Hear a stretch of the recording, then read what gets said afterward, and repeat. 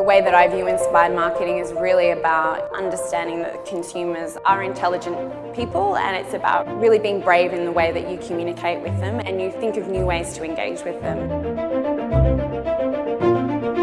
We need to build engaging products and we need to build an environment where people want to come back and want to engage with us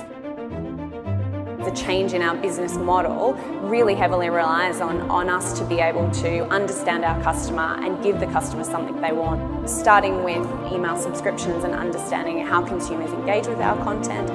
understanding how they engage with it on different mediums.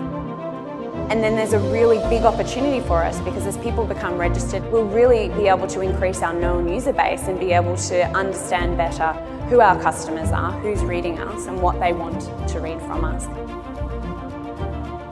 As an organisation, we're starting to be much smarter about our data and our real drive is to put the customer at the heart of everything we do. We've got a long journey to go on, um, but I think it's really exciting because you can see the positive impact that you can have just um, with your current subscriber base and how you can move your business forward.